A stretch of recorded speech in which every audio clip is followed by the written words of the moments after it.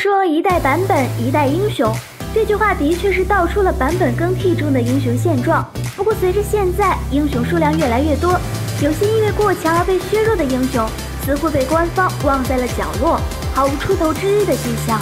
在峡谷里就有两个英雄，出场率竟然连百分之一都不到。下面就一起来看看他们是谁。第一个是杨玉环。杨玉环是一位集回复、游击、反手于一体的中单英雄，在战场上不仅有一定的输出能力，还可以为队友提供续航。但如此强的一个英雄，出场率不足百分之一，这是令人费解的。杨玉环被削之后，是一下子跌入低谷，估计有很多玩家都忘了有这么个英雄了。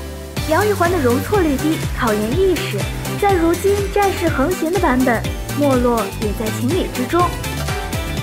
第二个是梦琪，梦琪混的也是惨得很，出场率低就算了，胜率也是垫底的。最新数据显示，梦琪胜率仅次于新英雄马超。遥想当年，不管是 AP 梦琪还是 AD 梦琪，都是生猛的很，单挑一撸几都不虚，而且开团、单挑、拆塔、poke 样样全能，没有谁敢小瞧这个灵活的胖子。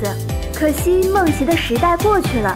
现在应该还有人在玩 AD 梦奇，但是结果如何，玩过的玩家心里都很清楚。